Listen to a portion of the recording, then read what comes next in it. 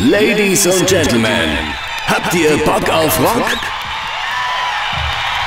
Begrüßt jetzt hier on stage das Foundation Guillaume Team Germany.